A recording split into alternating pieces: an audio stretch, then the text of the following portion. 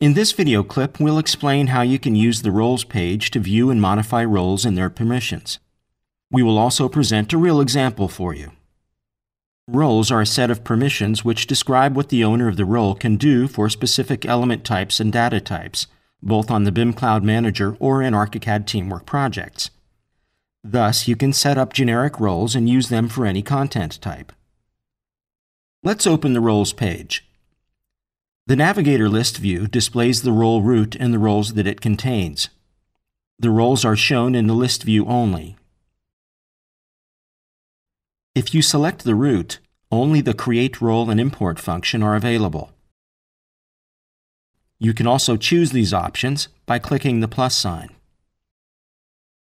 By selecting one of the roles from the list, the Duplicate, Export, and Delete functions will be displayed.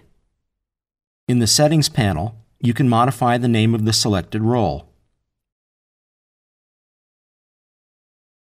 In the Permissions section, check marks indicate which permissions belong to the role currently selected. Click Edit to modify the fields in any of the sections of role settings. Let's see an example of how easily and quickly you can create a new role or modify an existing one. Let's select the Draftsman role. Click Duplicate and enter Render Specialist for the name. The new role is created and selected in the Navigator. Click the Permission Edit button.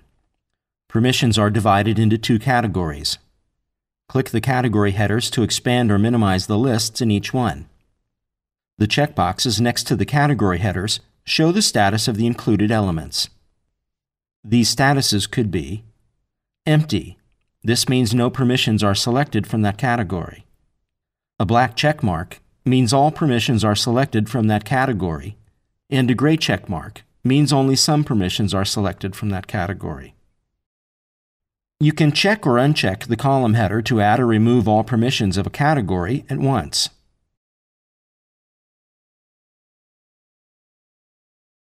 Let's expand to the Tools category and uncheck the Document tool and Grid tool elements. Expand the Attributes category and check both building material items and then both surfaces to allow for the Render Specialist to modify these ArchiCAD settings. Click the Save button to execute the changes. Let's switch to the User page now and assign this new role to a user. Select a user, click the Personal Settings Edit button,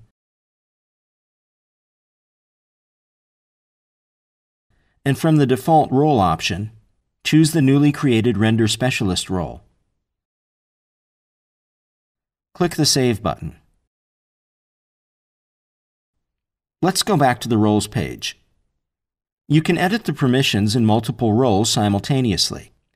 To do this, click the check mark to enter the multi-selection mode and select the roles which you want to modify. Let's then click on Edit Permissions at the right. You can extend the panel to see the related roles together.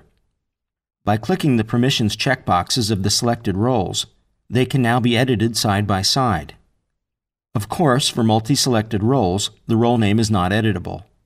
When you've finished, click the Save button to accept the changes and leave the Edit field.